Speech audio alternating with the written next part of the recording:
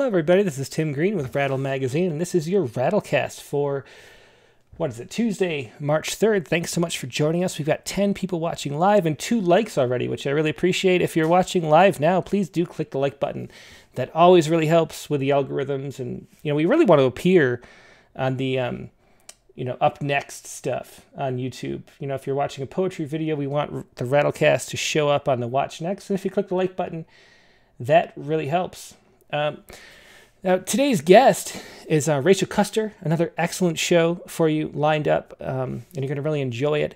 But first, we like to do a um, bit of a warm up poem just to get us started as everybody settles in and finds a comfort, comfortable place to sit as they watch the Rattlecast. And um, the poem I wanted to start with was the just announced winner of the 2020 Neil Postman Award for Metaphor um, Craig Van, U- Van Rooyen's poem, uh, Siege Machinery. Now, we started the Neil Postman Award for Metaphor way back in, gosh, what year was that? 2006, maybe? And um, it was really, I'll, I'll say it here, which nobody knows. It's a secret, so don't tell anybody. It's a secret just between you and me. But um, it was the idea of Eric Campbell, a good friend of mine and a great poet, as they say. Um, and he loves Neil Postman, and he um, told me to read uh, argument or um, amusing ourselves to death. Neil Postman's book about uh, modern culture from back in the 70s. And one of the things Neil Postman says in there, he has a whole whole section devoted to metaphor, and he says that um, metaphor is an instrument of perception, and um, talks about how important metaphor is. And really, metaphor is what makes poetry so important. It's the way we create new meaning out of the world, and um, so every year we we look at the poems that we published in Rattle, and we find the one that exhibited the best use of metaphor, whether it's extended metaphor or just little great metaphors throughout the poem. We have 14 winners so far, and if you haven't read them all, I really encourage you to go back on our Neil Postman Award page and look at the past winners because they're all such great poems. And this year it was Craig Van Rooyen, and I want to share his poem to start out. This is poem um, Siege Machinery. And um, um, let's see, here it is. Just one second, though.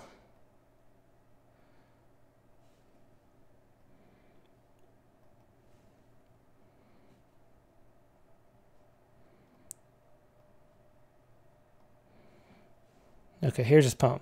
This is Siege Siege Machinery.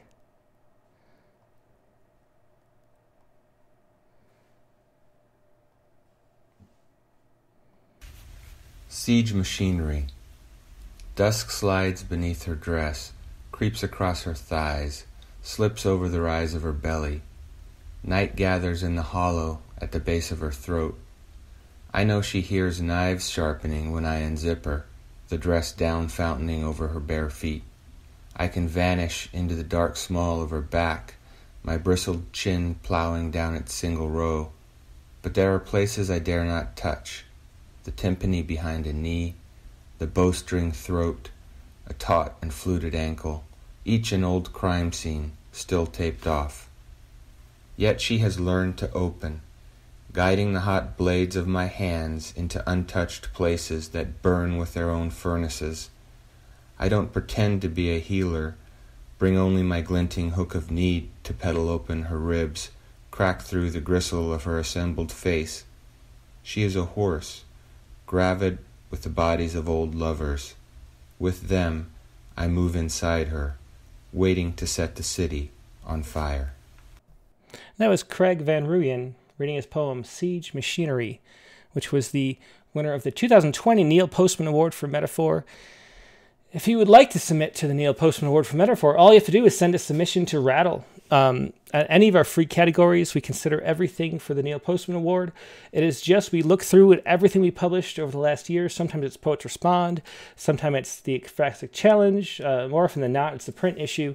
But we look back at whatever we've published and find the best use of metaphor that we found throughout the whole previous year. And we felt that was Siege Machinery from Craig Van Rooyen. Um, Craig Van Rooyen is a uh, judge in the Superior Court of San Luis Obispo County He has a BA in journalism and a JD from UCLA and an MFA from Pacific University. He was also winner of the 2014 Rattle Poetry Prize. So um, he's one of those poets that we really admire at Rattle who has a different job that has nothing to do with poetry whatsoever and still as a you know part-time passion writes really great poems. He hasn't had a pu- book published yet and he really needs to because he writes uh, great poems. Um, that's Craig Van Rooyen. You can't find him anywhere on the internet except for um, the few places he's been published. Um, he publishes frequently in Rattle, though, so check out Rattle and look up uh, Craig Van Rooyen.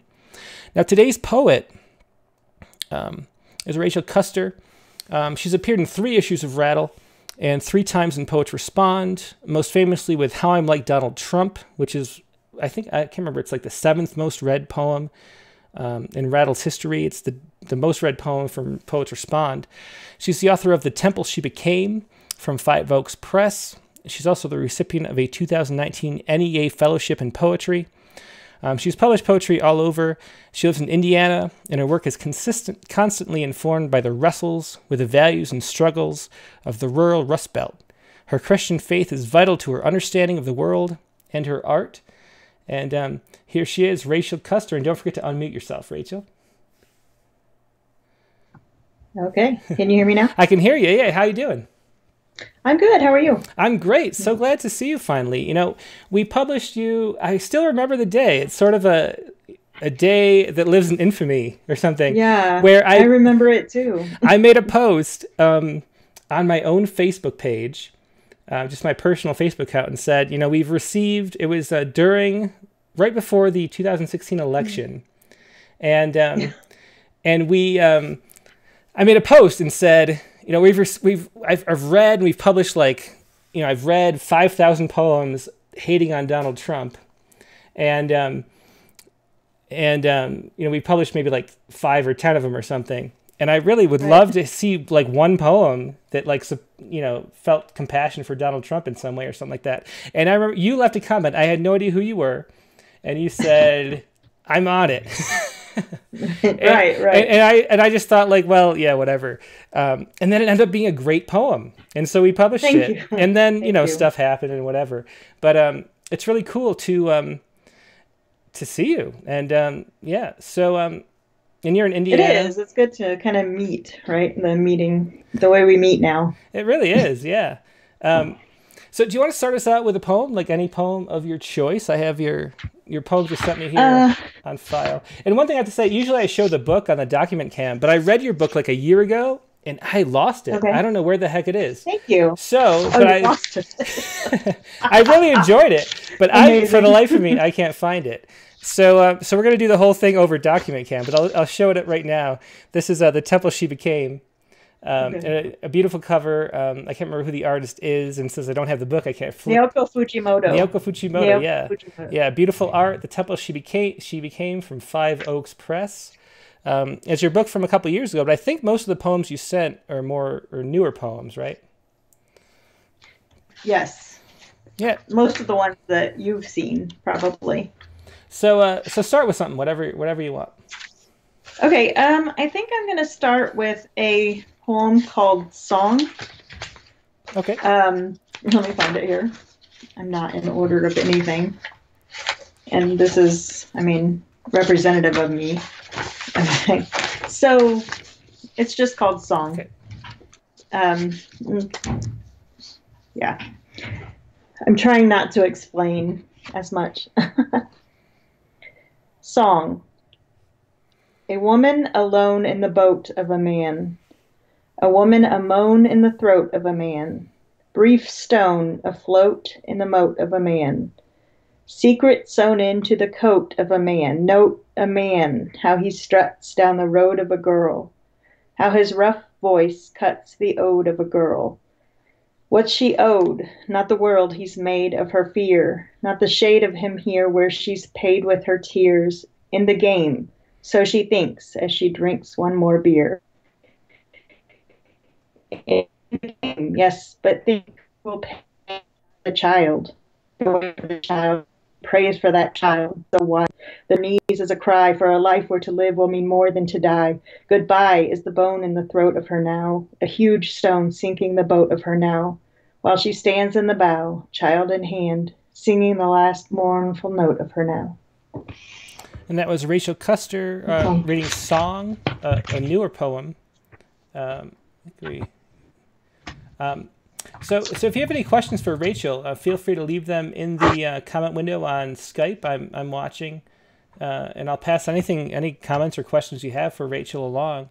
Um, so, Rachel, one of the things that I that I just find so interesting about you, you, you published a bunch of essays back in I think last year, maybe a year and a half ago, um, about poetry and spirituality, and um, and you mentioned your Christian faith a lot in your your bios and whatnot. Um, can you talk a little bit about what poetry is to you, and um, and how it how it relates to your faith? Because um, you know, poetry to me is a spiritual act, even though I'm sort of a secular humanist or secular transhumanist or something. Um, I'm losing you. You're losing me. Um, I'm not sure. Yeah, I'm. You're cutting kind of in and out. Your sound is fine for us, so kind of. I don't know. What I wanted to ask you about is um, your relationship between poetry and faith for you. Can you talk a little bit about that? I can't hear you. Hmm. We can hear you fine. Um, you're good. You can hear me. I can hear you. Yeah. I just I keep you keep cutting out for Hmm. me. Do you want to switch your headphones to the other ones you had? Is that that could be it? Because your your audio's fine for me. Okay. As long as I can hear you and what you're asking. Mm-hmm. Yeah, you're good. You're good. So just I'm asking about um, the relationship between poetry and faith for you because I because you wrote a bunch of essays for Ojal Okay. that are that are really interesting to me. So what what do you think about For Odell, yeah. Yeah. So what do you think about poetry and faith? Like how is Gotcha, it a. Yeah, no problem. Um, well, that has that's evolved. That's been an evolving thing for me. Um, but I am a Christian, um, and I think for me, the way that I understand God is primarily, or maybe not primarily, but in a large sense, as a creator, right? As a creative God. It's the first thing that we find out about God in Scripture. Um, in the beginning, God created is the fifth. It's the fifth word of Scripture, right? The first attribute we know about God is that He makes. Um, and of course, our relationship to God is that we are His creation. Um, and so I, I see God as an artist, right? The first artist. Uh, and what we know about how, from Scripture, about how He creates human beings is that He creates us in Him, in His image, in the same way that a sculptor, right, makes you know, it makes the statue of David in his image. Um, and so creative, the expression of creativity as a as fundamentally uh, something that we do naturally um, to kind of emulate and interact with um, the God who created us. hmm So to me, that um, it's a, it is it's a spiritual practice, right? To create. You were talking about metaphor, and I think about um, Christ uh, in the Scripture and the fact that a lot of the way that he the way that he shared spiritual principles was through parables and stories, right? And a lot a lot of the Old Testament is written is poetry. Um, or proverbs, you know, the, kind of similar to like the Zen ko- uh, koan. Is that how you say that? Um, so it literature um, and metaphor is, I think, is necessary. It's a spiritual practice. It's the only way we can understand something that is beyond, fundamentally beyond our understanding, right? Yeah, yeah. I um Is to say what it's like. Yeah, I uh, yesterday we were talking, or I was talking to, you, and if if you um, noticed on the screen, if you're watching live, it said Paul E. Nelson underneath Rachel Custer for a minute because I forgot to update it. But I did the interview with uh, Paul E. Nelson over Skype uh, for issue number 68, which is coming up in the summer, and we talked a lot about poetry as a spiritual journey, as a as a sort of prayer, um, and a way to Yeah. connect with the the broader nature of reality that we can't really access and that's really what i'm most interested in um, when it comes to poetry and um, um, i don't know it's just really interesting to me i um, i find the, the idea of um, um, Christian faith a lot more interesting recently. So, so I'm really interested to hear what you have to say about that. Um, now let's see on the chat window. Um, uh, yeah, so Leslie Herbert says, "I'm hoping you will read uh, from your Flatback Sally poems." You know what? She, what are the Flatback Sally poems? Oh, so this is a new thing. I've been writing a few. Um, so what I've been doing instead of publishing lately, because um, it just seemed so overwhelming to me to think about all the things that needed to be done to share poetry after I write the poetry. Um, and it was getting to a point where it was feeling like a, I was finding a hard time to love writing the poetry. Um, so I've just been kind of sending them out by email. Mm-hmm. Oh, really? um, oh, wow. Because I, I just, yeah, yeah, I fundamentally dislike the idea of, um, in a way of commodifying, mm-hmm. but also not commodify, I guess, of this this the poetry community that we've created, this online quick turnaround kind of thing. I, I I like some of it. I like engaging in it to some extent, but I also just liked writing poems before I ever knew about mm-hmm. that, right? So I just like to share the poems sometimes, and I think that's for me the important. That's one way that I'm trying to get back to just loving writing poetry. So anyway, um, I have this mailing list that I kind of send poems out to, um, and the Flatback Sally poems are kind of a recent. I started writing some of these kind of Rust Belt narrative voice mm-hmm. poems um, with the before I got the NEA. Um, and Flatback Sally is kind of this, I don't know, this woman that I've created and written about and through, and I've written a few of them now, and everybody seems to really like her and like the poems. So um, she's a mythologized me, maybe I don't know. I guess all maybe all of our people are, but she's a sinner. Do, do you have any of her of the Flatback Sally poems um, among what you sent? I do. I do. Yeah. Um, let's see. I, I see have... Flatback Sally dreams of an escape. Do you want to maybe read that? Okay. Okay. Yeah, I'll grab that one.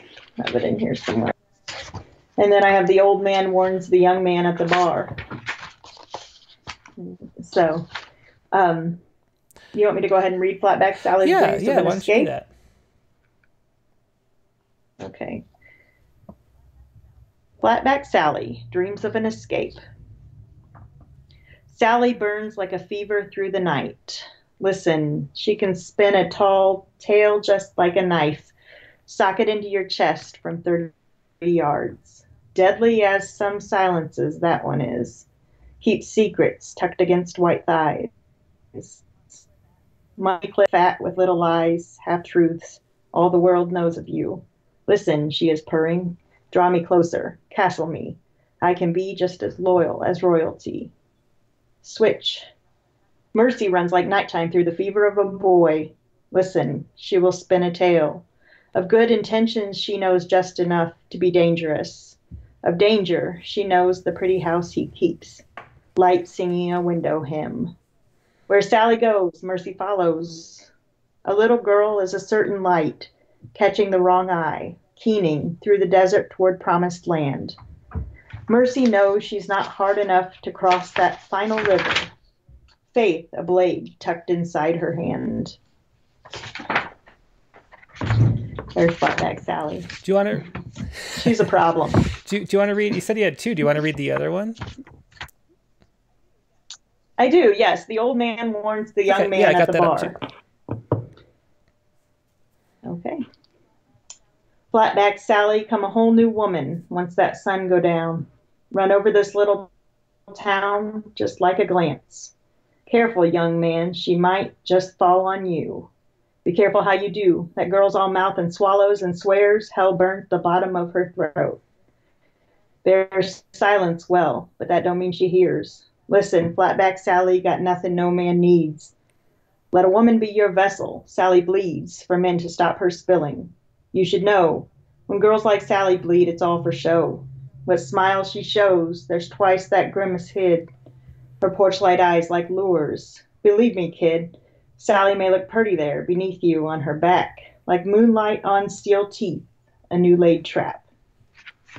Yeah, and that was uh, That was the old man warns the young man at the bar. One of the flatback Sally poems. Yes. Um, one of the things you know we published we published you um, in uh, the Rust Belt Poets issue, and one of the things I when one of the essays I think I read Yes. maybe Ojal, you said um, you talked about wanting to represent stories from you know different places that, that don't usually get represented, and you say small towns are made of stories, and a person might as well be the stories people tell about her which I thought was a really interesting um, way to Yeah. talk about small towns and stuff. You live in, uh, you grew up in, in rural Indiana, right? Um, so, so what are you trying to do as far as representing um, that culture in, in the rural, rural middle, middle America, I guess you could say? Well, I think that the culture, in a lot of ways, is constantly talked about, right? And um, in ways that gloss over the true, the reality of it, um, and the in ways that kind of dehumanize uh, and kind of distance. And so, I'm interested in troubling that narrative. I think um, always, and in humanizing, and uh, in bridging maybe some of the some of the beliefs that are held with some of the realities, um, but also in mythologizing and in my in my own way and in our own way. You know, um, Mhm. troubling it, Yeah, yeah. complicating. yeah, troubling narratives is a really great sort of. I never, you know, heard it put that way before, but um, it's a great um, way to say what poetry does. You know, um, you have a cat now. Hello, Yeah. cat. I hope so. Yeah, I know. My cat's like crazy. Um, I think so, and I hope so because I think that it's really easy to simplify and dehumanize and distance, especially with social media. You know, it's so easy for us to dehumanize each other and respond to one another as if we're brands, right? Or as if we're accounts or whatever um, you know icons. Uh, and i think it's that's so uninteresting. It's it's so it's just not what i want to do with poetry or with words you know? That you can do with that you can do with marketing. Yeah, it always seems to me like um, you know, poetry's job is to expand human consciousness and to sort of make order out of the chaos and the interstices of our lives that we don't fully understand. And so, so disrupting narratives is the job of the poet. You know, like you have this map of the world, and um, and and Yeah. and what poetry really does, or what really art does, is um, is break apart that old map and say, hey, you're missing like whole things here that you you didn't see clearly. And um, and I think that's why you know Right. art is such a tough sell. Like you mentioned marketing, and um, you know art doesn't sell the way the way um, commodities within popular culture do, and um, and it's because because it's disruptive rather than confirming. Um, so so it's interesting to to hear you put it that way. well i think order out of chaos yes but also chaos Mhm. out of order in some ways right? Um, because if you think about like a glossy magazine um, they're perfectly ordered right? Um, they always have the same style the same uh, we have even now we have genres of writing that are like search engine option optimization right? Um, and so that's order but it's not truth so in some way sometimes truth can be like you know the i think you can break that apart and that's where you find truth. Um, and i do th- i mean so i don't know. I think you're right. There it has to be something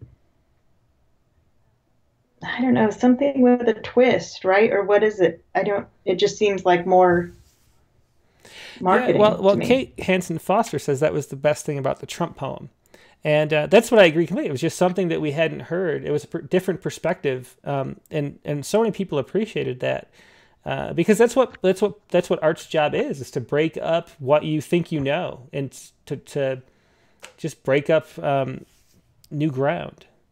Um, do you want to read a couple more? Yeah. i think so Sure. Um, does anybody has anybody asked for anything Uh, specific? no, or- no. So whatever you want to do is totally good. Um, so I want to go. Uh, let's see. Yeah, I think I'll do um, a poem called "Consider the Trigger."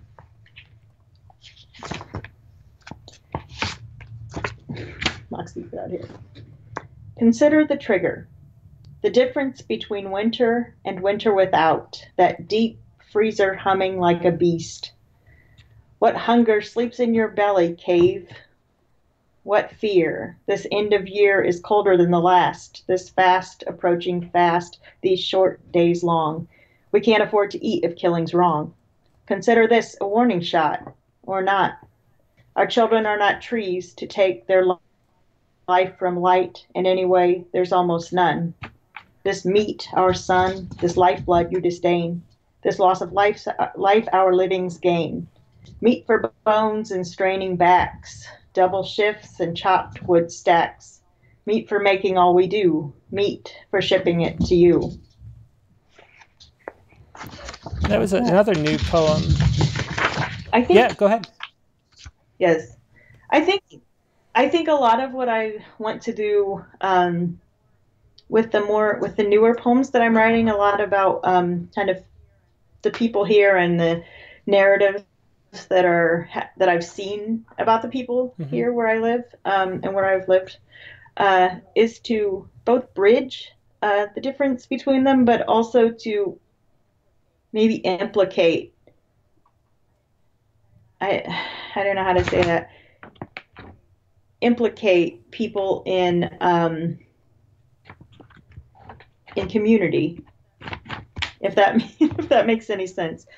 Uh, you know, I think it's I think it's boring and easy to suggest that there are all these bad people over here, or all these X people or Y people, without considering what is it that you do to to contribute to perhaps the reasons for their lifestyle, right? The reasons for the way they live. I don't know. Yeah, it's it's something that um always troubles me. Just the way, like, I hated that deplorables line um, that Hillary Clinton had, uh, and uh, Yeah. just writing off a whole segment of the country. Um, I live in a town. It's a small town near a military base, so there are a lot of a lot of military people here, and um, Yeah. you know they're the deplorables, really. And I play softball and poker with them, and they're good people that have good kids and, and care about. You know, they're not they're not racist, sexist, xenophobes. Yeah. You know, um, and so it's really it is it is troubling the way that we Yeah. we do that, and and they do that too. You know, like um, liberals or libtards. There's a way that we just have these tribes of um, you know, and and, and Yeah, social media yeah. with its echo chambers and the way we silo each other. Um, it's so easy to paint other people as caricatures that think differently than we do. But uh, but for the most part, we have the same values, and Right.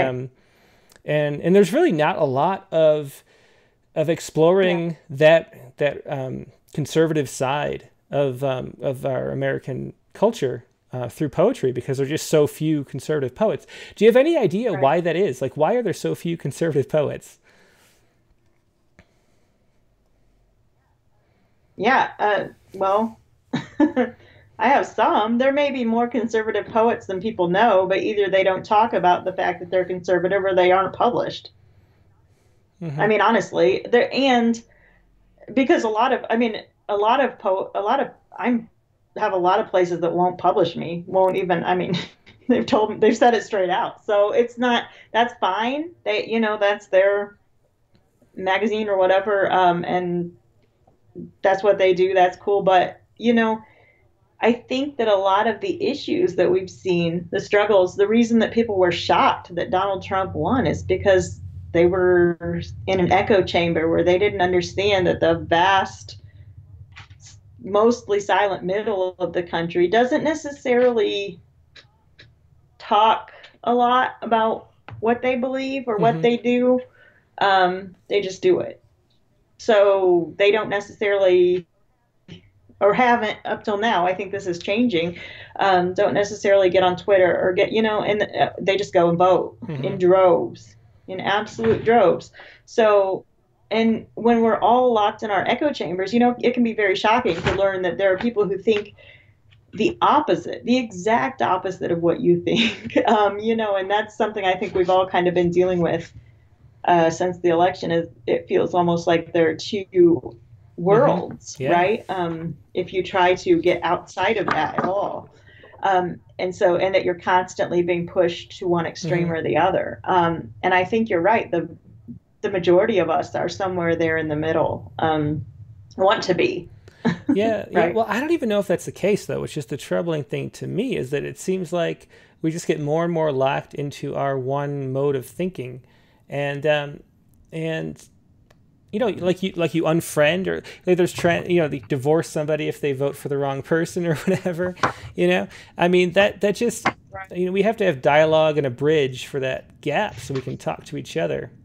Um, right. Do you want to do you want to kick that cat out and, right. and I'll I'll put it on on my screen if you want to get up for a second.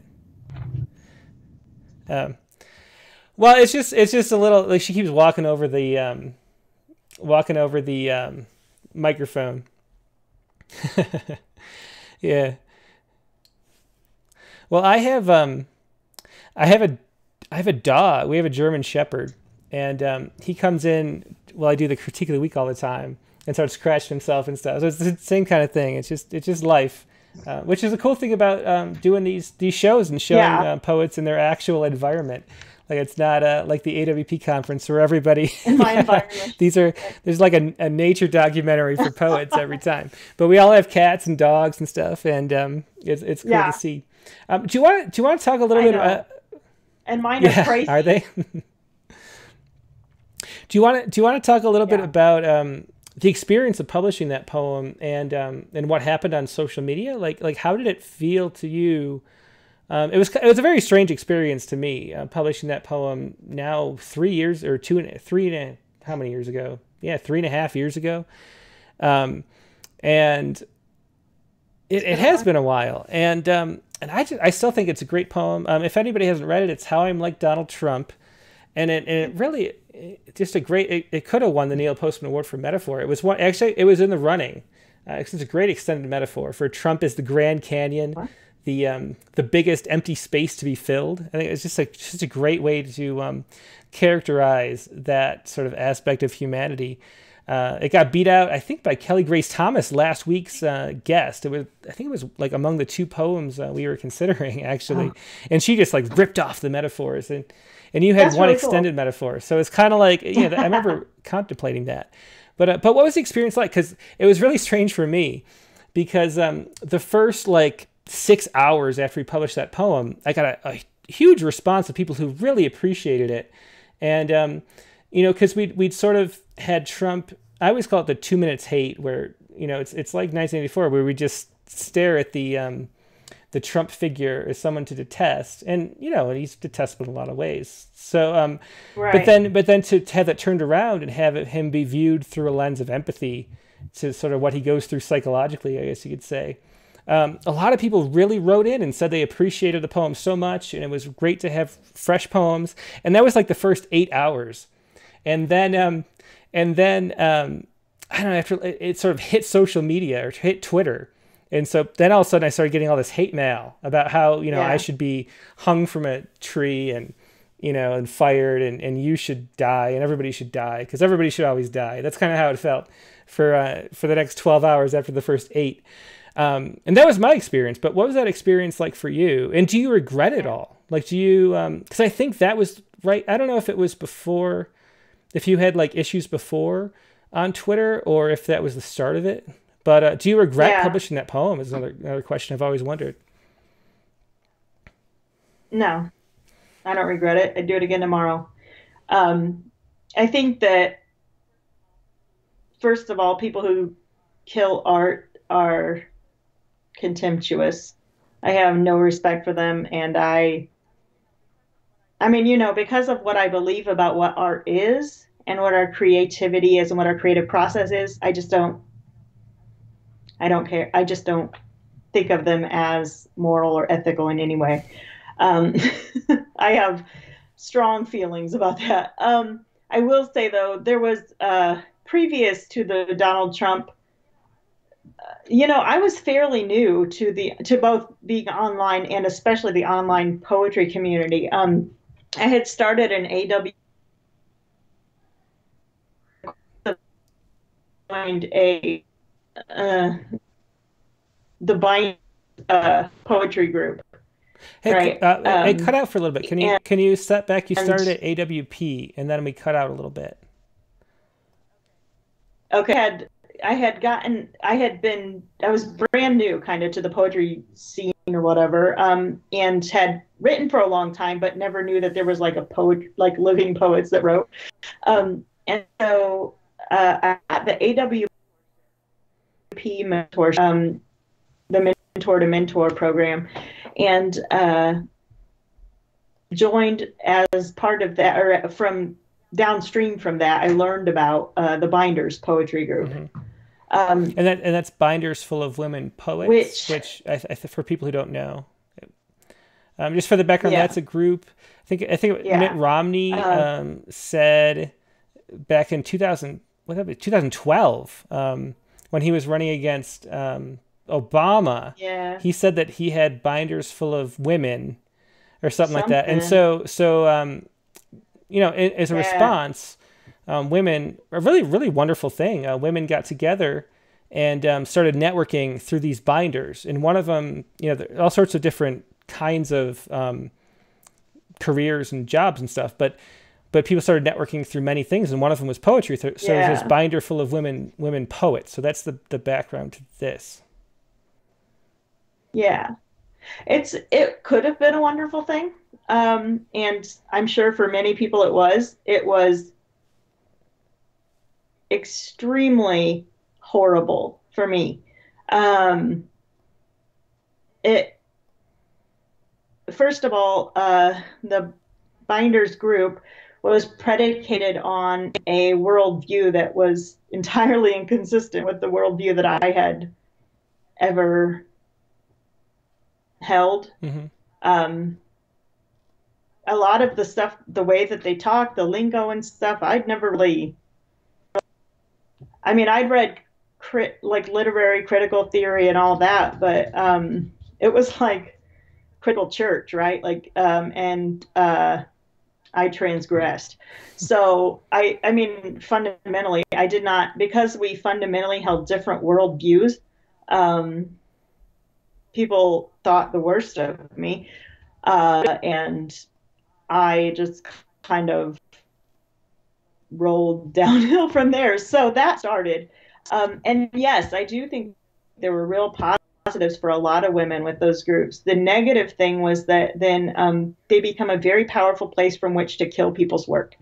Um, and I think there have been men that have experienced that, and there have been women that have experienced that. I think the the deep, deep irony is that the people who seem to have it experience it the most is the people who to whom they claim to be allies, right? So people who are already in these groups that they claim are marginalized, um, they're the ones who get Mhm. harmed, right? And then the white, maybe the white men kind of fail up. I mean, you know, um, not to join in that thing, but really, I mean, they go on and they publish with whatever and whoever, and then and yet there are people of color or there are you know gay people or whatever that are working class, and they just kind of who knows? Maybe they stop Mhm. writing. Maybe that's why they don't have any conservative poets. Yeah, I mean it's so I think I mean that's real. That's a real Mhm. thing.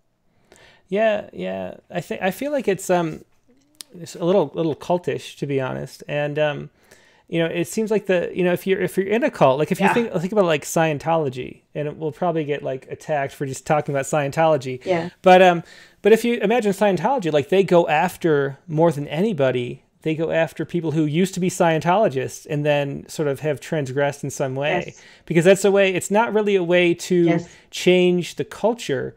It's a way to keep people in line within the cult and to, to be feared of being Right. apostate, Right. you know? And um so so going after somebody who's in the Yes. binders and, and it's not just Yeah. you, you know, I've heard from from so many people that um, that the binders is a really toxic uh, place you know for anybody who deviates Yeah. whatsoever from the party line and it's just a way to enforce groupthink it seems to me um, how, how has Yeah. how is oh yeah. Well, you have to to even join it. You have to. Go ahead. No, I was just going to say, um, um, how has, um, you know, you mentioned th- that now you publish uh, directly just by emailing people and don't really participate as much in um, the literary community. Um, how is that? I don't know. How does that feel? Like, how is that? What's that been like for the last, I don't know, year or so? Um, hard in some ways, and um, disappointing in some others, but also in a way kind of freeing. Um, I, you know, I think that um, I kind of did not. I mean, you know, there was a lot of stuff that I was having personally that happened that just made things really bad. Um, and then I just kind of engaged and per- and kind of sent things over the cliff. You know what I mean? Um, there were a lot of per- personal. My daughter was sick, and you know I was drinking a lot, so um, it was there was a lot of stuff that I ways that I engaged that I didn't necessarily know any better of how to. I don't know how to handle it, hmm but with that and and so now i think it's very very difficult it was very difficult for a while for me to find almost find the love i had for poetry Mhm. again. Um, with just with the toxicity of the environment in general. And so because that toxicity i think is rooted a lot in the online community right? And just got off of it. Um, and just let it go and I think that was important. It was freeing for me to just say, I just want to share my work. I just want to write Mhm. poems and give share poems and read poems and you know. I'd be lying if I said that I didn't want to be published in all the cool mags and you know have all the cool people retweeting my poems and reading my poems and saying how great they are. But is that real anyway? The real thing is where someone reads your line alone in a room somewhere and it means something to them that they never knew before or you know connects you to them or that's what i think. Mhm. so i'm kind of thankful in a way and no i wouldn't i wouldn't change anything about that about the trump poem. I think it was important to write it. I think that i almost think that sometimes when you need to write a poem you almost have it's kind of almost received almost kind of channeled in a way, not channeled in the spirit, but you know, almost like a received wisdom or a shared larger thing than just you or your thoughts. Um, and that poem, I it, I really felt like it was. I wrote it in about 20 Mhm. minutes, so it just came. Um, do you have that poem like in front of you? Uh, I can get yeah. it. Do you do you want to read it? Just because we've talked about it Pull for like so much that we probably should read it so people know what we're talking about. Um, if you if you don't mind pulling it up. Yes, I will find it. Yeah, yeah. So this was published in um, yeah Yeah. October like 26th maybe of 2016, right before the election, um, and uh, yeah, this was after we'd published. We yeah, published. the, I mean the hate I got from that. Yeah, yeah. The hate I got too. Um, It yeah, it really was. It was sort of just just unhinged, frankly. Like as if publishing a poem that um that sort It- of tries to was, tries yeah. to imagine, you know, having empathy for Donald Trump as um as somehow that was going to swing the election. Like a poem could swing the election. Somebody said, "Are you?" After he won, somebody wrote me an email and said, "Are you happy now that you got elect Trump elected by publishing that disgusting Wow. poem?" Um, so let's hear that disgusting poem because I think people probably want to So- listen to it. Well, and so the reason I brought up the binders in the first place was because then, of course, when that thing comes out, when you see all these outrage groups coming out, it's already been talked about and ginned up in that group, right? Or in groups like it, where it's like, oh, did you guys see this problematic person or this problematic journal or whatever? That's always the word they use. Then they go off on a big huge like hate fest and then they hit Twitter and Facebook and it looks very much like you have a mob mm-hmm. who all these people think this thing, right? Except they've already been thinking this thing together behind the scenes. So anyway, yeah, I'm always reminded um, of this um, is called "How I Am Like." I'm always reminded of there was um in, in a fourth grade. I, I, grew up in upstate New York, and there was this story that my fourth grade history yeah. teacher talked about about how when the British were going to come up the Hudson River to invade New York, there was an island, and there was like there were six troops or something stationed on this island, and to um to make um, the British ship that was coming up think that there was a whole tr- bunch of troops there. He had the general of these like little little brigade of like six or eight people had them walk just in a row in and out of the yeah. tree line over and over again to make it look like it was a huge army. And that's kind of how this stuff on Twitter goes. It's like the same. Right, they circle. They do. Around, it's the same right? like fifty yes. people, and they make it feel like it's you know five thousand or something, but it's fifty people who are just you know have a yeah. certain worldview that you know, and and they they genuinely believe their worldview, but um, it's a very closed-minded, one-dimensional worldview, pretty much. So um, anyway, let's hear the poem "How Am I Like Donald Trump," and I think I can put it up on screen too.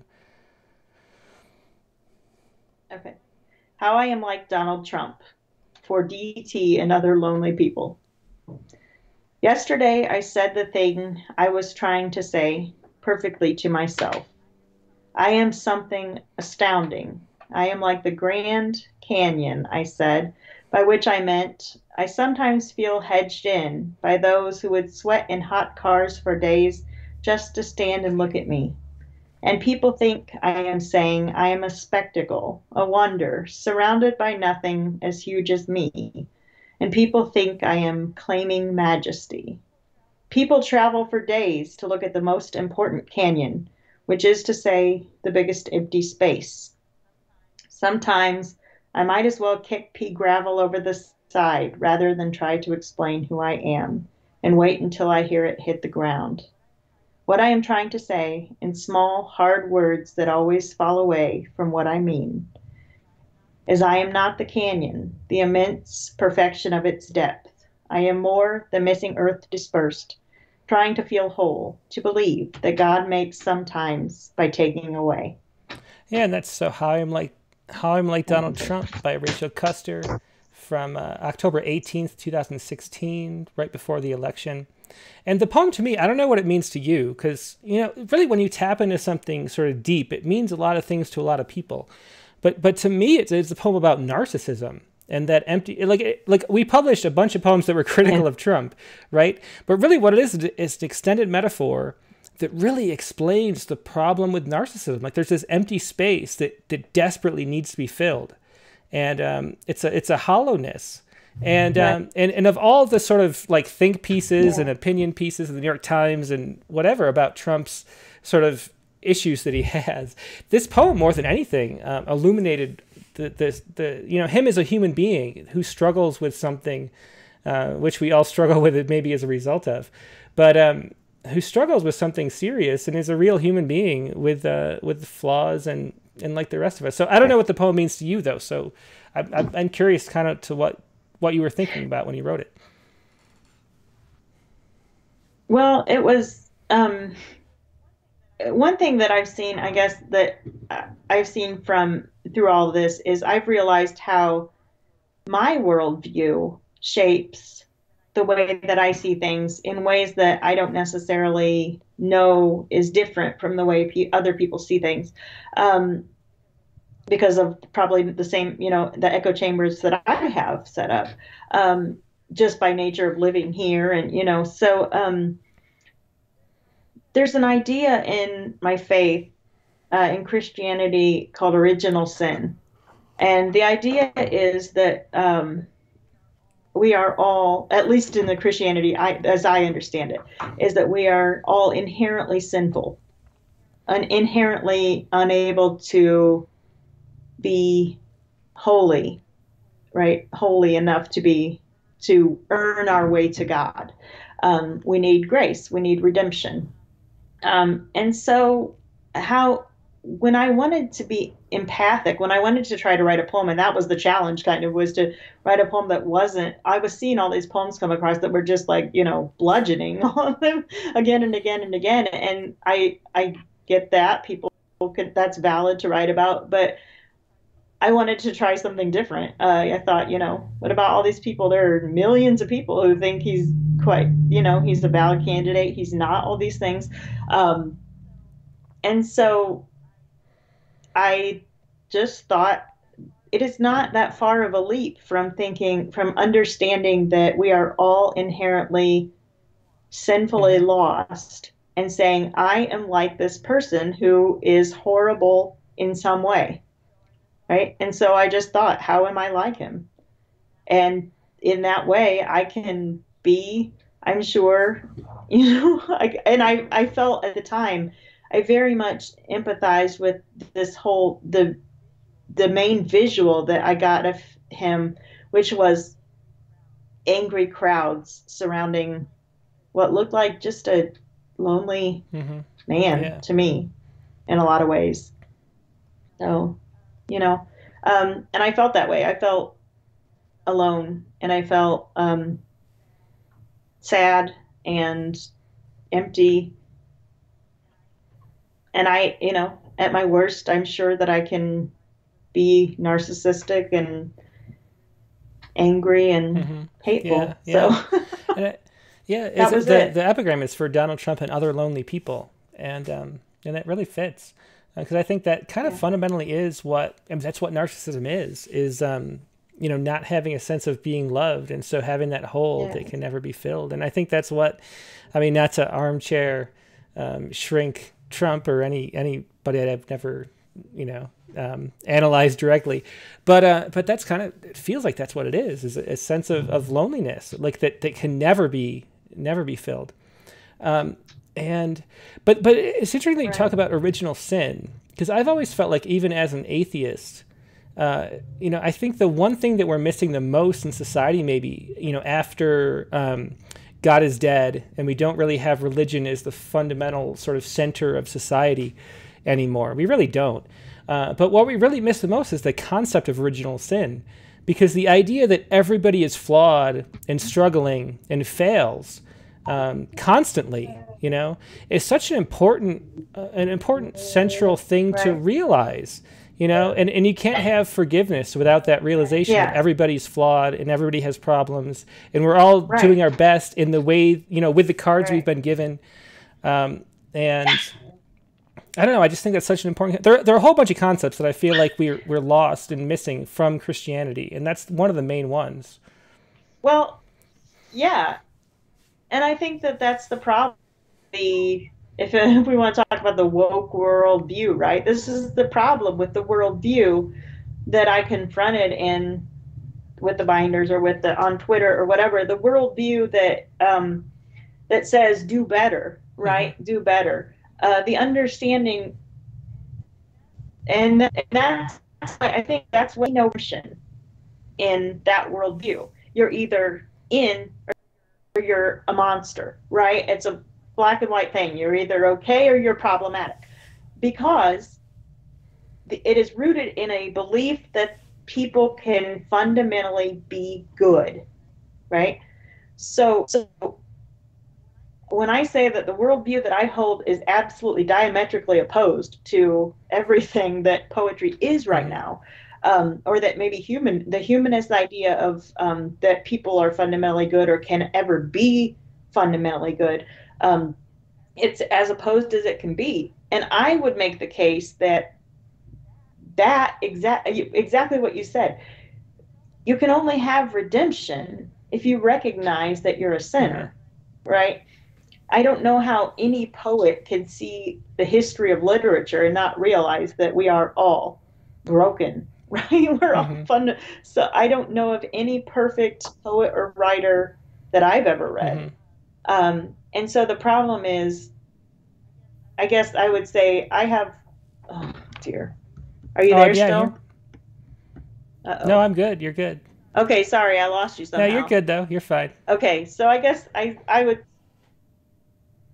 Okay, I don't know. I'm missing you. That's okay. I, I hear you fine. I see you. So just keep going.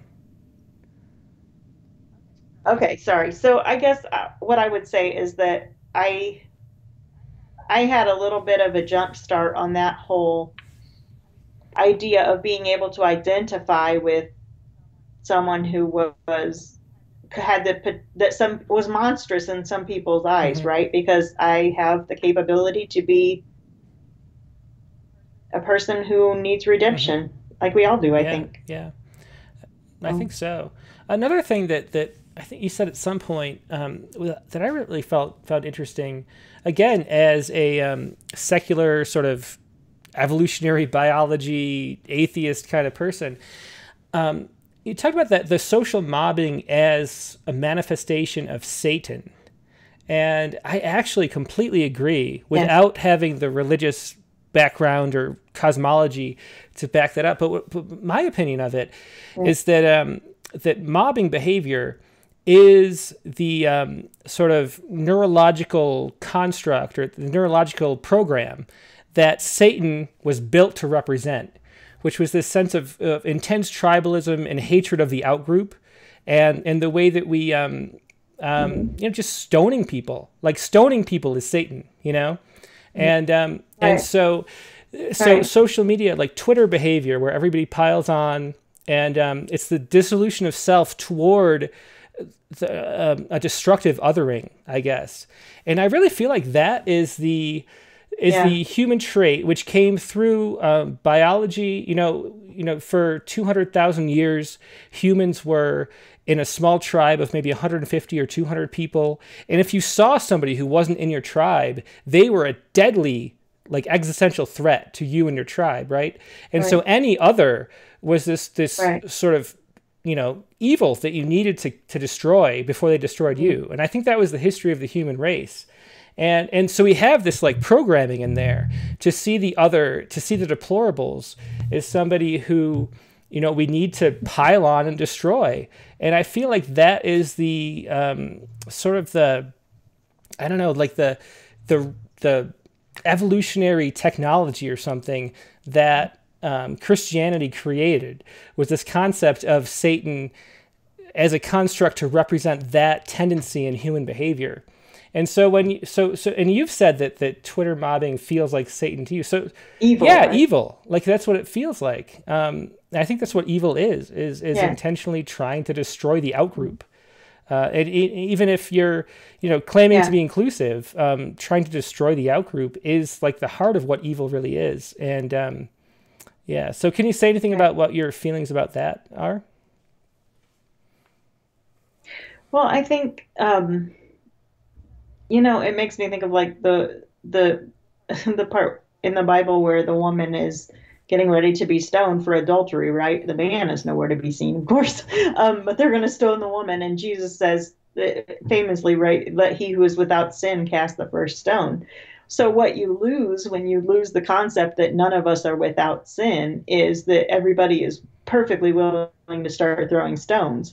Um, and so, I think also the other thing about social media is that it tricks us into um, into thinking that we are only saying our opinion or our one our we are one voice right um, and then but when you're on the other side of it and you have a thousand people, right? Or even 50, as you said, um, making a comment, it feels very much like you, like an existential threat to mm-hmm. you, right? And then, so then in some ways you respond in a way that's out of fear, right? Yeah, out of almost yeah. that, that abject fear of being backed in.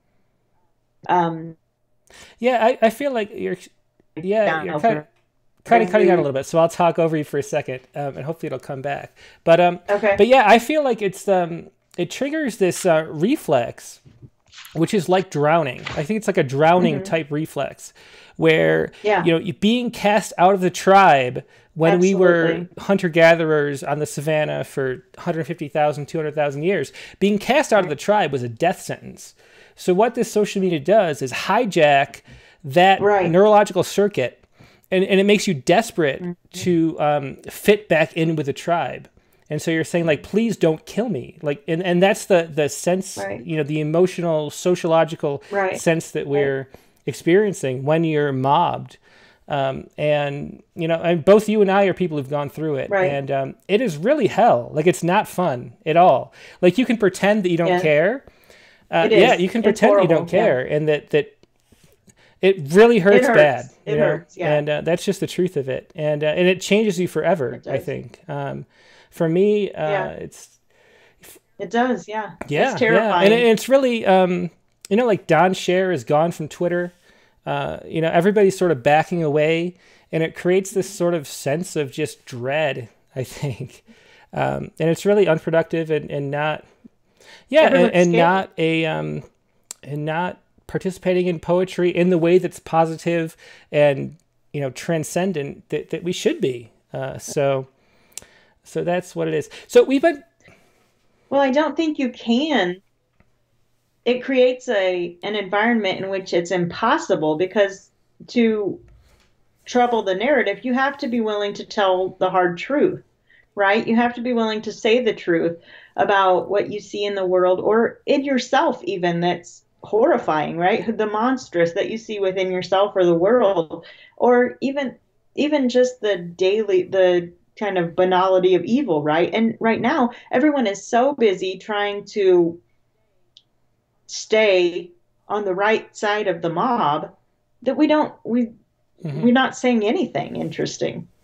Unless I mean unless you're someone who kind of has reached a level of being kind of unimpeachable and I'm not sure that there are as many people there as think they are. Yeah, yeah. Well, I mean, everybody has original sin. I think that's Oh. just the truth of human nature.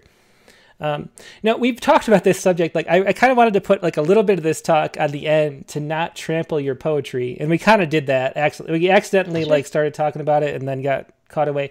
So let's extend this this show a little bit. That's all right. Now You let's can have me extend the show a little bit and um, let's get back into some poems um, and uh, and talk about poetry a little bit before we, we wrap up. So maybe read like a poem or two, then we'll ask a question about a poem, and then we'll we'll uh, do a couple more poems, and then we'll be done. Okay, I'm going to read a poem called um, from my book called "Because of You, Bearded." When we were seven, I dropped a doll from the hayloft, the porcelain girl with eyes like yesterday, and peeked through my fingers, watching her transform. The way I tore, they called it a starburst tear, if that helps. My best friend explains giving birth as a still just girl. And because of you, bearded, it does. We pass her son between us like communion bread, and I understand this. In the multiverse of my history, you are nothing more than a deserted midnight Main Street, no real where. Hey, why don't you do another one too? But that's that one. That's good. okay. Uh, let's see here. There's one I want to call. Okay. Oh. There was one I thought I had, but I don't. Okay. There's one here called Bait. Here's a girl hefted onto this barbed hook of a place. Here a girl impaled on a day. Her 14 year old face raised as if toward the sun, pink around the writhe of her eyes. An earthworm is nothing but skin in the dirt through which it tunnels, her father tells her as he baits his hook. Don't fool yourself that he could feel like you. A girl is made of skin and the air through which she moves, and all the things her daddy always said. If a hook can be a home, she has been waiting long for the cold plunge of metal through her guts.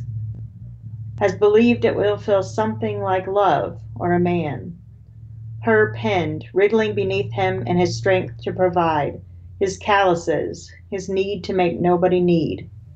If a man can be a hook, a girl can be two homes the dirt he holds and the dirt that buries him. A man is nothing but skin in the soil he calls home, her mother says, catching her glance at a man. Don't fool yourself that he can feel like you. A mother is nothing but skin and the fear through which she tunnels, and the honesty to call it love. A daughter's young face raising toward a man, skin smooth in his rough light. Her daddy always said, Go on, girl, fish or cut bait. Dinner won't wait forever. Small waves against the boat, brief pause of her held breath, brief panic of her hands, eyes, eyes. Thanks. And that was um, Bait, uh, a newer poem from Rachel Custer. Uh, Bait.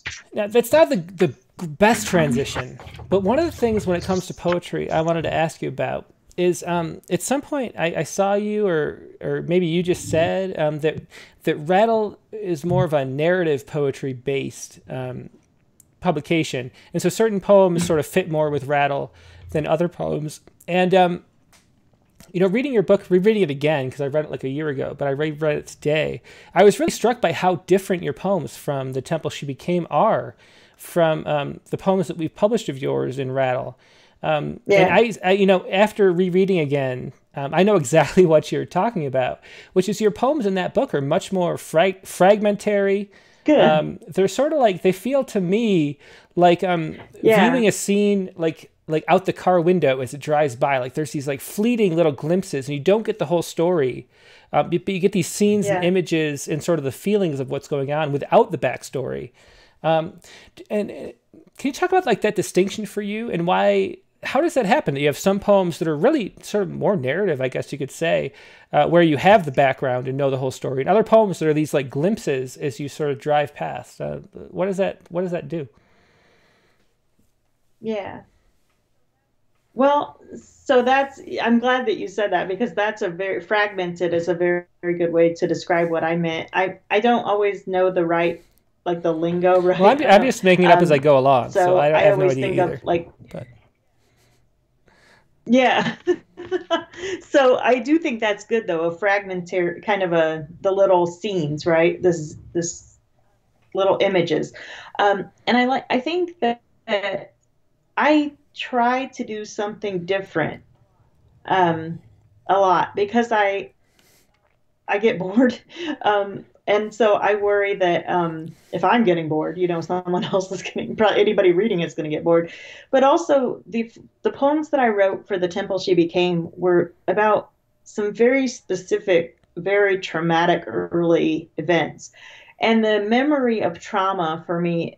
I mean, the memory of trauma. What and what we know about trauma is that it's fragmented, right? It fragments, and so that was part of the form that I used and just kind of the way that those came because of the way that memory mm. process you know you process those memories um, and then i set out to try to do some more story type poems or even poems about kind of people or personas mm-hmm. you know voices yeah it seems to me um, yeah, so yeah. That, it mean, seems to me. I was thinking as we, you know, because I talked, as I mentioned before, I talked to Paul E. Nelson the other or yesterday about um, poetry, like as a spiritual practice for yourself, rather than poetry as a, um, you know, something for an audience to to appreciate and understand.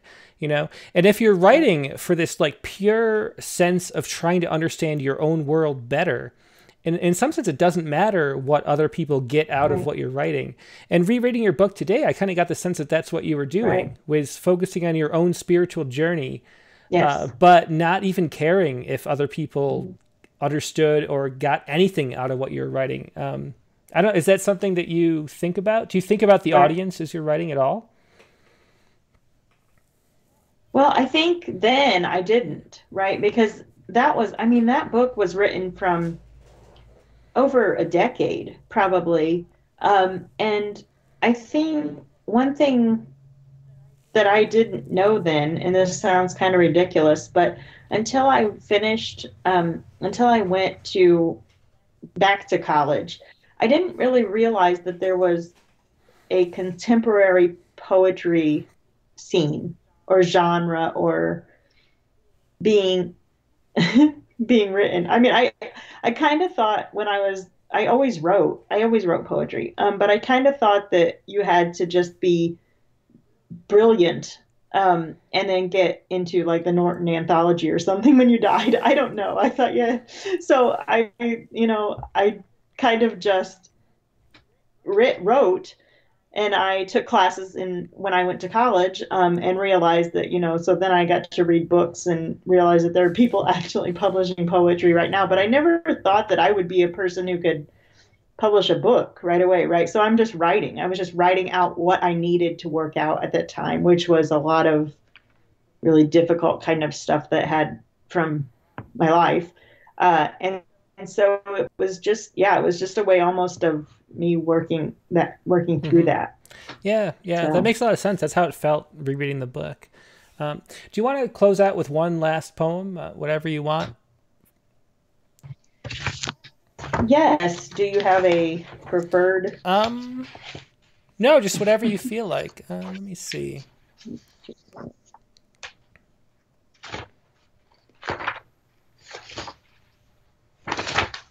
I think I'll, I'll do one called God Breathed. And I, I do, if you don't mind, I'll, I will describe, I will say a little bit about this. Yeah, please first. do. Yeah, yeah, please okay? do. It's a part of the fun, actually. Okay. Okay, so it's called God Breathed. And um, the reason that it's called that is because in in scripture in christianity uh, there's a concept about scripture being inspired by god um, and which and the word there, the word uh, in the original language is God means God breathed. So um, scripture that is canon, right, is seen as directly the breath, uh, directly born on the breath of God, um, and that's important, I think, to it's a it's an important thing to understand as far as my frame of mind.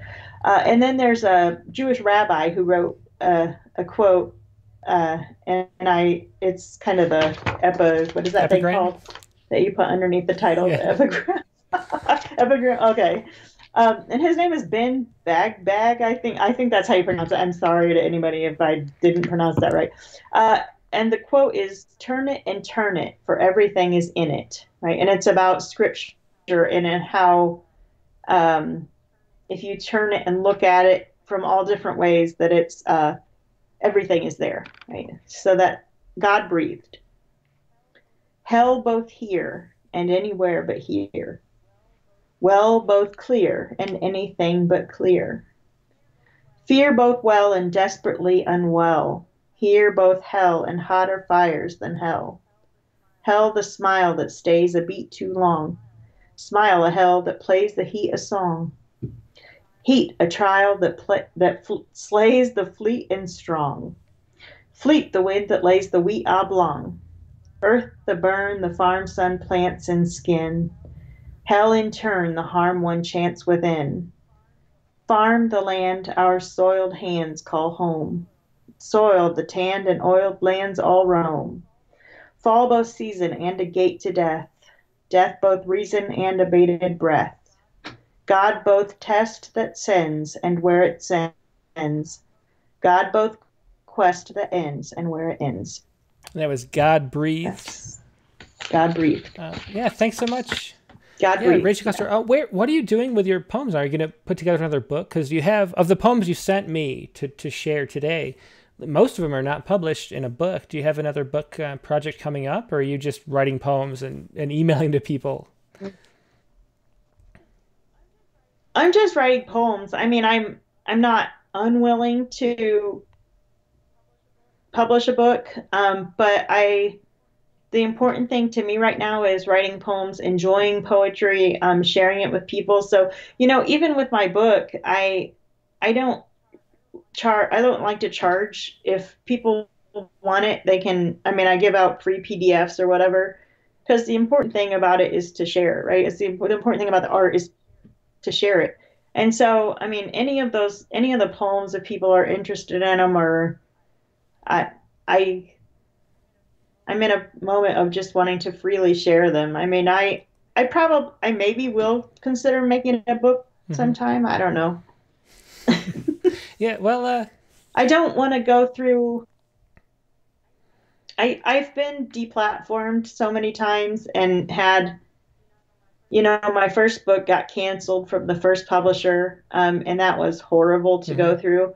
Um, and so I don't want to go through that again to where I, you know, send it out and then have someone write an email to the publisher mm-hmm. and it be pulled. It's just yeah, too yeah. gut wrenching. Well, I, I, hear you, and so, I, I really think I tell people all the time. I think self publishing is what to do now for poetry, because a small press, which is all you're going to get on anyway. Can't really do much marketing, and they don't really. Eh, there's not, only so much they can right. do.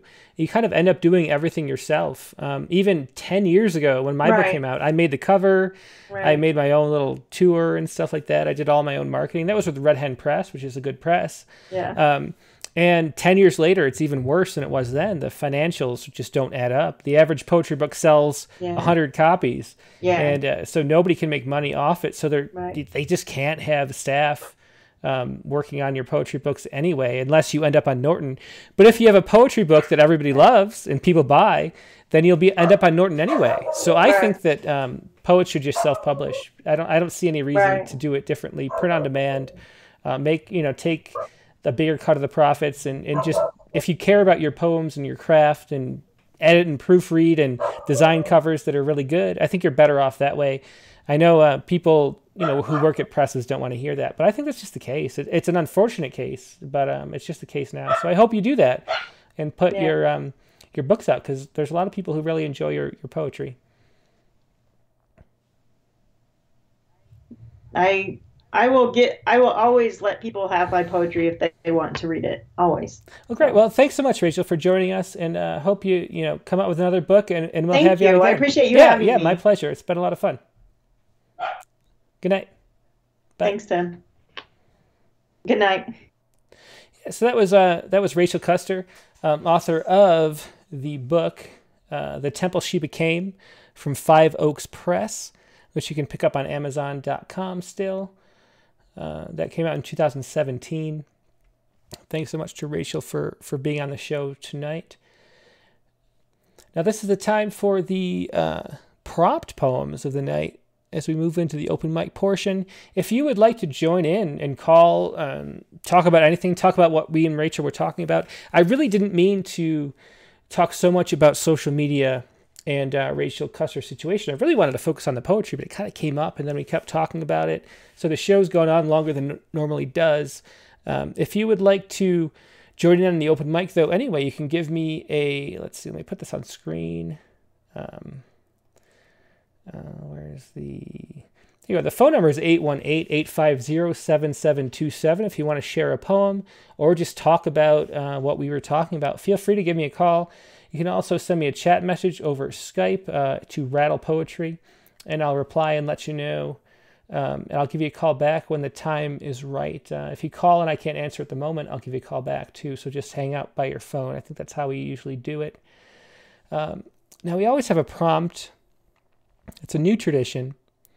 And um, the funny thing about the prompts is that they always end up being really relevant to my and, and Megan's personal life. Uh, Megan wrote these prompts back in December when we decided to start doing this, and we're just going down in order doing them. But like we went to um, a museum in San Antonio the day it was like 3 a.m. art museum, um, and this week we went to a uh, uh, what's it called the um, you know miniature golfing with an arcade and stuff this week just with the kids because um, we wanted to get out while we still could.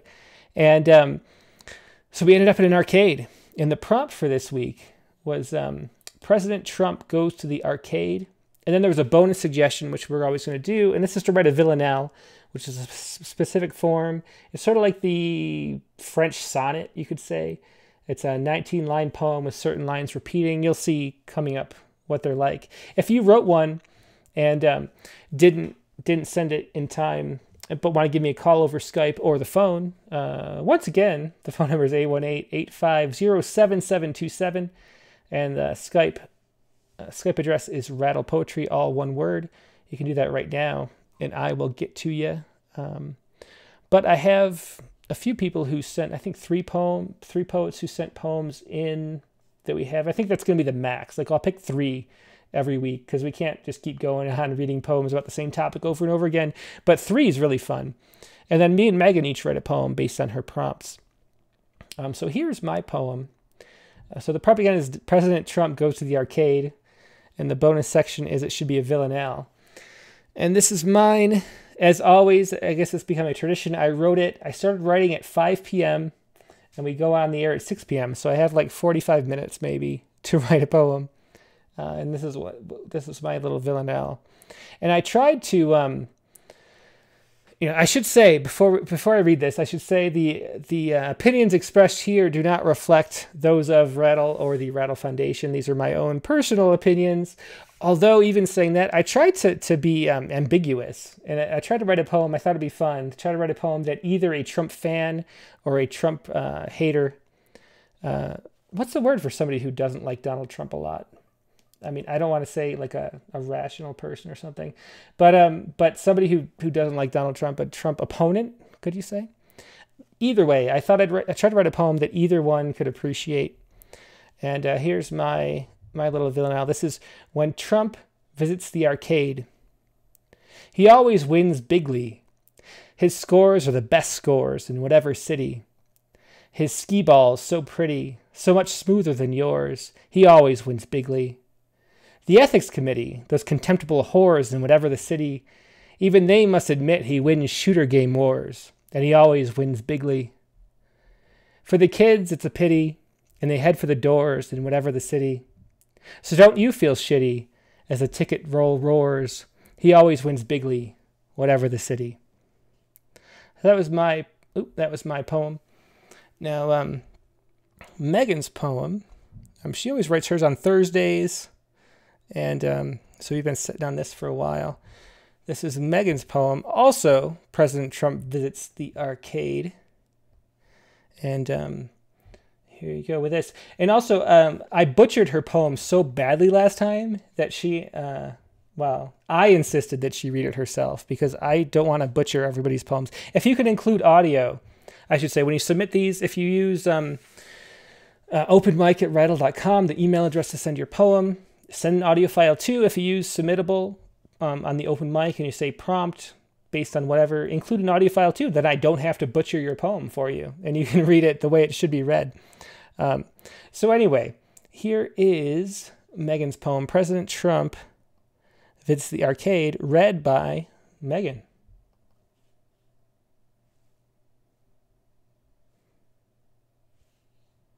Hmm. So that's not working.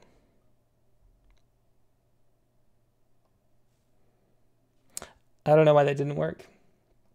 I guess I'm going to have to butcher Megan's poem. Anyway, I'm sorry, Megan. I don't know what happened. We recorded this and it ended up blank. That doesn't make any sense. Anyway, here we go. This is. Why isn't this working? Let's see that.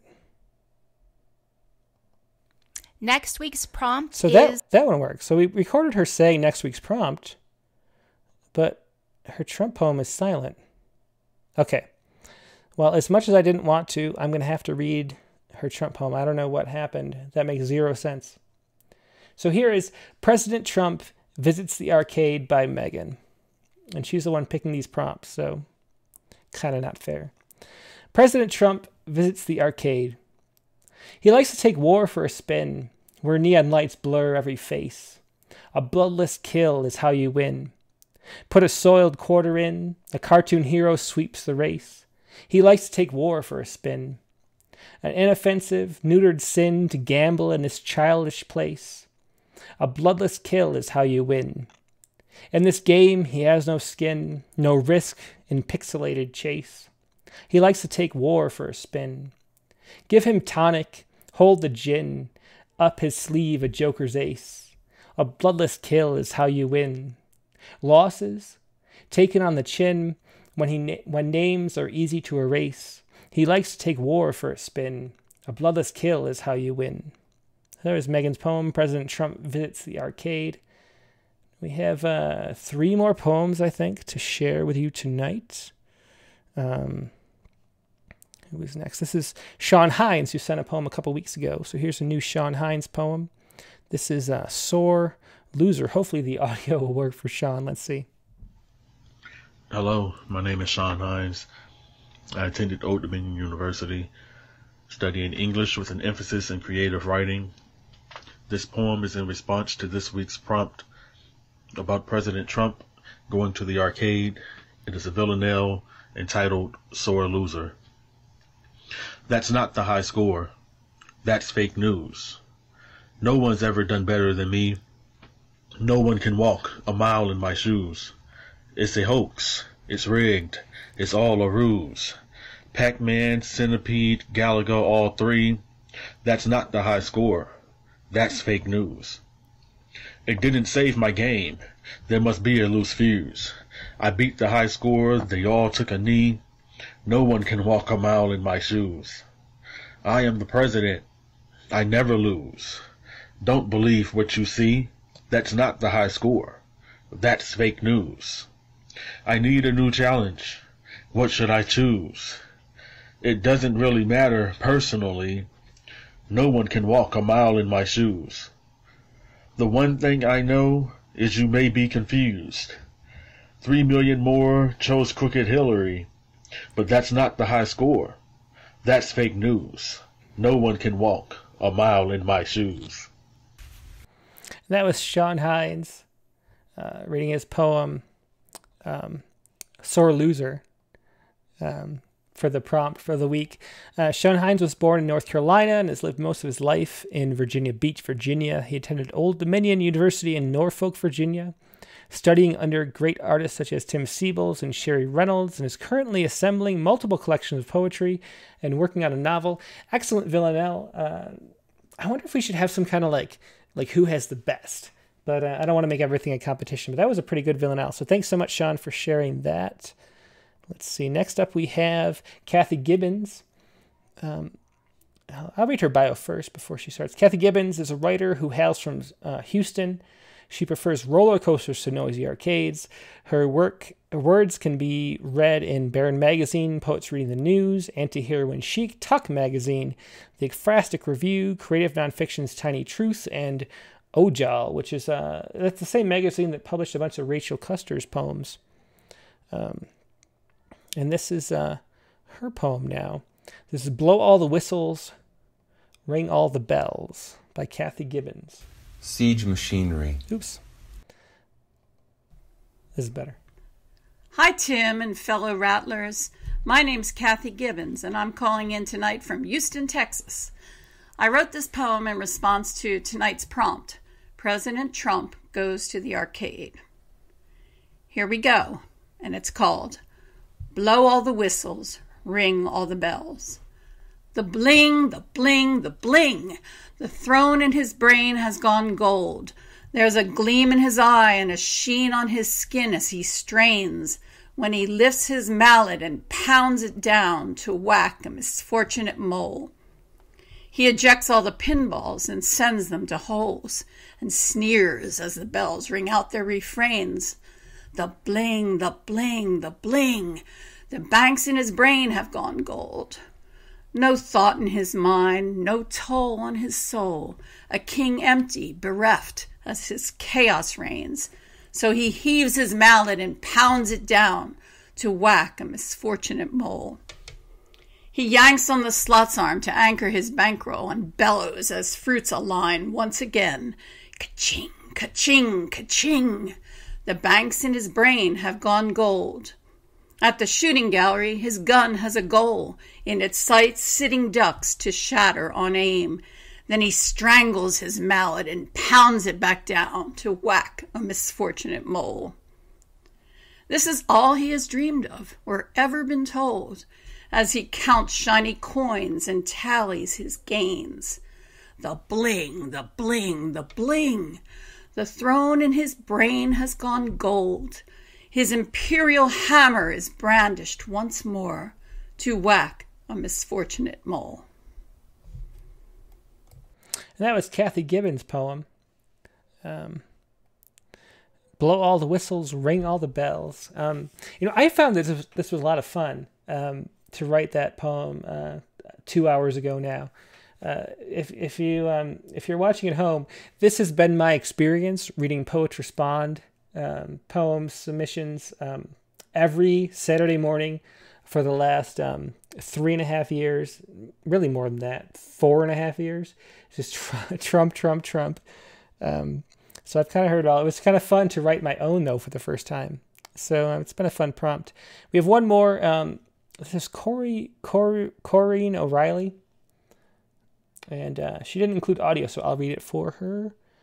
Um, and the only bio I have is she lives in Southern California. This is Corinne O'Reilly. The Tower Arcade. I am the leader of the land of the free. The aides quickly nod as Melania sighed. No one wins more tickets than me. The caravan stops on the way to D.C. The beast door opens. He steps outside. I am the leader of the land of the free. His unmistakable outline against the marquee. Fake gold doors open. He looks around with pride. No one wins more tickets than me. Now zeros in, in on a game with familiar filigree. Some kids are playing. He shoves them aside. I am the leader of the land of the free. He misses all the targets. Tickets yielded three. His face is red with anger. This game is lied. No one wins more tickets than me. The manager is summoned. The game opened with a key. Trump grabs all the tickets, pockets brimming wide. I am the leader of the land of the free. No one wins more tickets than me. Another great sonnet, that by Corinne O'Reilly. Um, thanks so much for sharing that. Um, now, if you uh, want to do a prompt for next week, once again, all you do is use Submittable to submit them, or you can send them by email to openmic at rattle.com. Uh, include audio if you can, then I can uh, have you read it instead of having me butcher butcher the reading. Um, but um, next week's poem, next week's prompt is an addiction to soap operas. And the suggestion, which you do not have to do, but there, there'll always be a sort of a prompt to get your mind rolling and then a suggestion. And the suggestion is to have it be an epigram, just meaning short and witty. So some kind of witty short poem uh, about an addiction to soap operas. If you want to write a longer poem, though, feel free. Uh, really, we just want to spark um, writing more poems for people.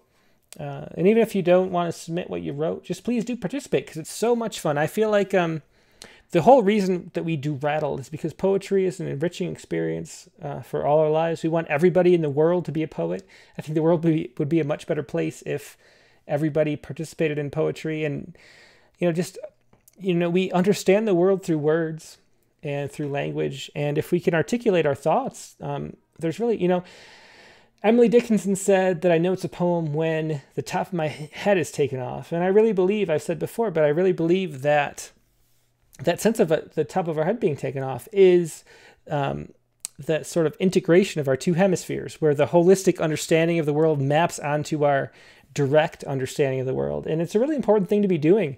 It makes our lives all better if we do it. So hope you do participate. Once again, uh, next week's prompt is an addiction to soap operas. And the suggestion is to make it an epigram, short and witty. So I hope you do that. Let me do one more check to make sure no one's called yet. I didn't miss any phone calls. So that is the show for the today. I hope you enjoyed it. If you did, please do click the like button. Um, share it wherever you are watching or listening to this. Uh, and click five stars. Just tell people about this show if you enjoyed it because it's a lot of fun. I think to meet a poem in their living room every Tuesday night. I really enjoy it. You know, we publish about 300 poets a year, and um, getting to see them in person is actually really fun. Uh, I enjoy it. I loved meeting Rachel Custer for the first time. Hope you did too.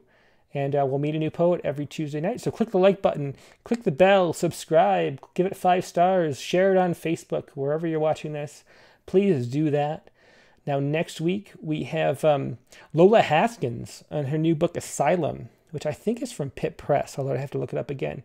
Um, and Lola Haskins has appeared in several issues of Rattle, and um, she's a Florida based poet. And um, we just love Lola Haskins. So we're really looking forward to that show. And I will see you then next week. In the meantime, I hope you have a good good week and a good rest of your night. And I'll see you soon. Good night.